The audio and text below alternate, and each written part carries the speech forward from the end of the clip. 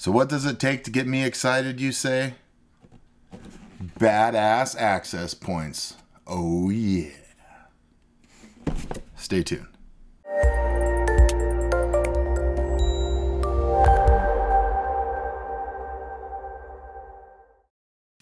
Hey guys, today we have the Ubiquiti Networks UniFi access point. It's an AC access point that has some great features and it is enterprise quality. Uh, got this off the recommendations from Tek Syndicate.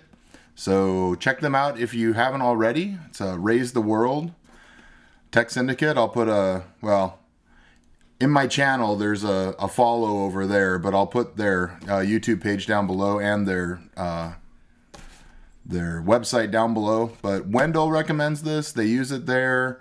Uh, Linus actually picked one up and he likes it.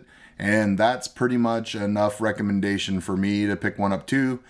The idea here is I'm personally tired of these all in one router switch access points. Um, I want something that's more stable that I can, you know, add extra nodes to and get better coverage in my house that I can also configure and keep an eye on independently without using, um, you know, some cobbled together software that's trying to do, you know, the router, the switch, and the access point. This way, when you're managing your access points, you're just managing your access points. When you're managing your router, which I'm actually building a router, I'm going to use uh, pfSense. You're just managing your router and uh, probably pick up like an intergrade, uh, enterprise grade switch at some point. Uh, might go with the Ubiquiti one, might go with something else. I haven't quite decided yet. Uh, the nice thing is if you go with the Ubiquiti one or one that does do uh, power over uh, networking, so I have PoE, I think, power over Ethernet, then you'll see that you won't need an adapter that comes in this case. So quickly on the back, we basically just have, um, you know, some of their software here. Um, the nice thing is you can actually see in the software kind of what your coverage map looks like. And then that's about it it really doesn't need to say a lot because it's just kind of badass.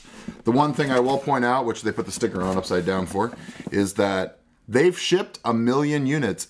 And if you got the golden unit, I don't know what happens, but it says, do you have the golden unit? So we're to see because I haven't opened this yet. I'm to guess I don't. So little things on even just on the plain brown box that show you that this is higher quality than normal. You actually have the tested date, the engineer's name, and what OS, if it's pass or fail. So, you know, still made in China, which, I mean, everything is anymore. Um, but it's definitely, you know, the quality control on this is going to be a little higher than your average uh, access point. And of course, the cost on this is quite a bit higher than your average access point. Oh, I don't have the gold one. So sad. Not really, but so nice little guy. We have a mounting plate, a mounting plate, a manual, mounting hardware, and this is the interesting part.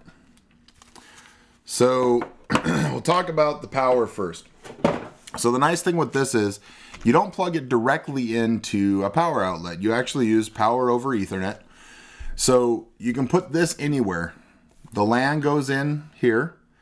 The powered port comes out here.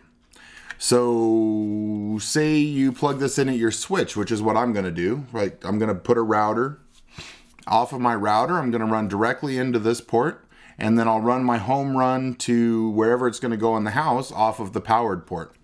So then I have a dedicated power active channel for just this router or just this access point off of my router.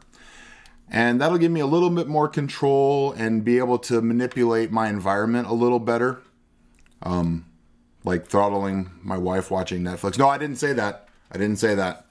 But the cool thing here is you don't plug this in. You know, it's enterprise. It's just like any um, switch in a building you've pro- or access point in a building you've seen where they're just sitting in the ceiling. Those aren't. Those are power over Ethernet too.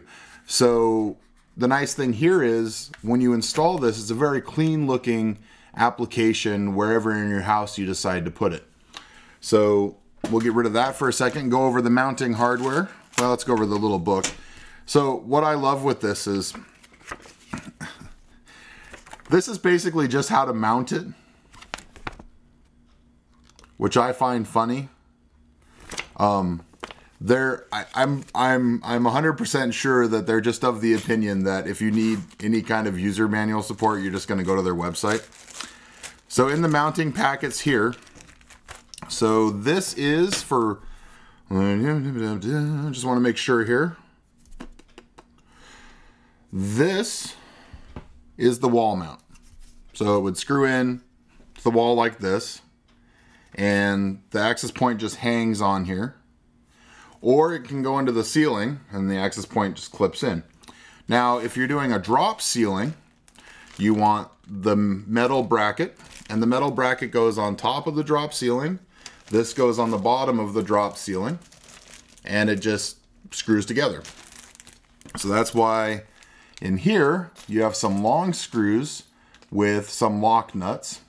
So that's one packet. That's if you're doing the, the drop ceiling mount, because you know most businesses have drop ceilings.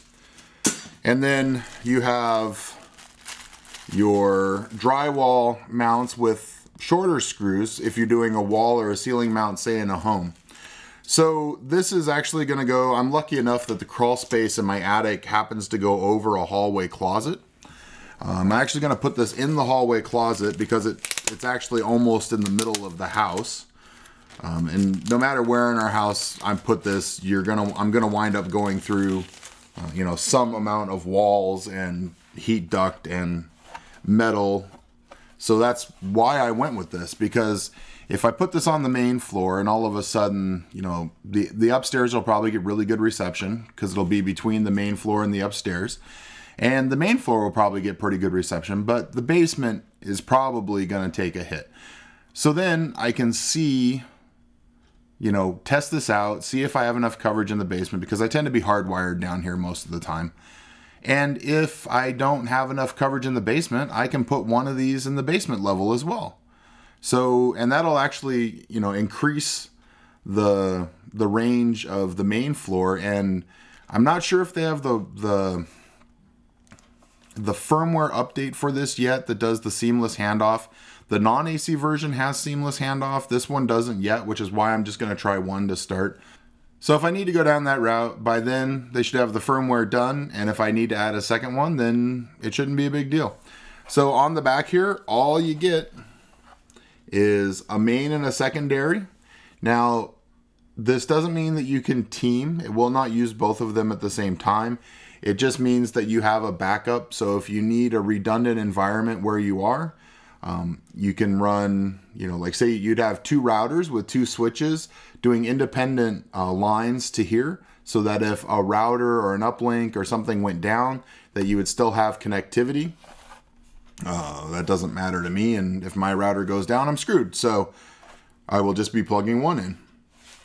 So needless to say, there's other than that, you know, the software I will get into once I get it set up and start, um, you know, playing around with it.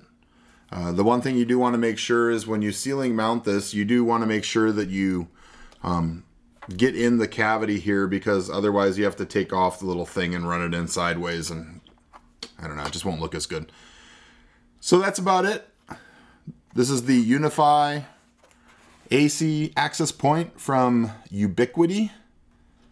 I'll let you guys know how it does. There's a lot of metal like ducting in the middle of our house, and that tends to have been the problem with like my Asus router.